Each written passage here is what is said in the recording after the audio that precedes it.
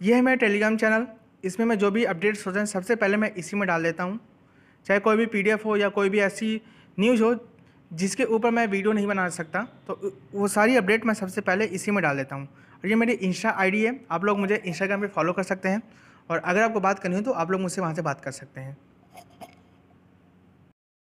इस वीडियो में मैं बात करूँगा ओ और ईडब्ल्यूएस सर्टिफिकेट की डेट के बारे में। कि कब तक ये बने हुए होने चाहिए और कब तक का ये वैलिड रहेगा।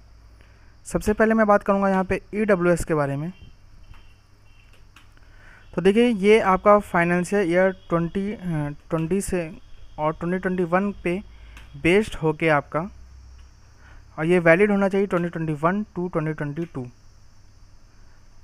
इस फाइनेंशियल ईयर के लिए होना चाहिए, इसके प्रीवियस फाइनेंशियल ईयर को बेस्ड मान के 2021 से 2022 वाला फाइनेंशियल ईयर का होना चाहिए। और इसे आप जो है डीवी से पहले कभी भी आप बनवा सकते हैं। ये आपका चल जाएगा, उसमें कोई भी प्रॉब्लम आपको नहीं आएगी।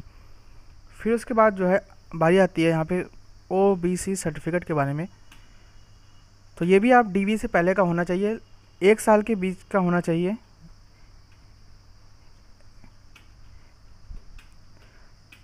विद इन वन ईयर के बीच का ये होना चाहिए तो इसमें भी आपको, आप इसे डी से पहले का दे सकते हैं।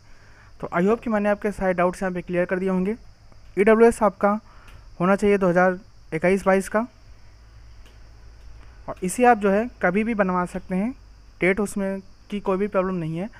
बट वो केवल डी से पहले का होना चाहिए। और यही चीज़ आपकी ओबीसी के साथ भी लागू है कि विद इन वन ईयर का होना चाहिए और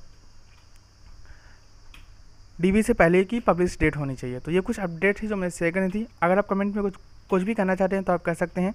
हैव नाइस डे जय हिंद एंड बी सेफ़